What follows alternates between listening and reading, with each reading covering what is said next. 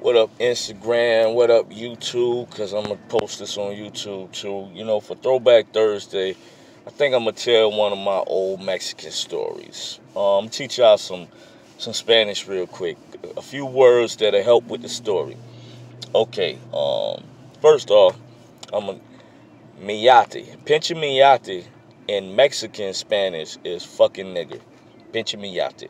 So if you walk by some Mexicans and you black and they say, Mira, pinche mayates, they like, look at those fucking niggas.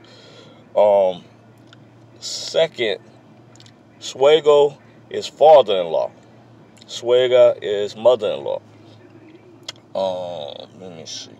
I think that's all y'all need to know for this story. Okay, long story short, back when I was with my ex-esposa, my ex-wife, I used I used to pick up her father, my suegro, from clubs because he used to perform. He used to do music.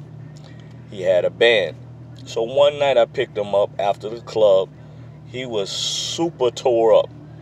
So we drive by this gas station now. This like 3 o'clock in the morning. We drive by this gas station. And he was like, mm, pinche mayates. And he looked over at me and like, oh, they my friend.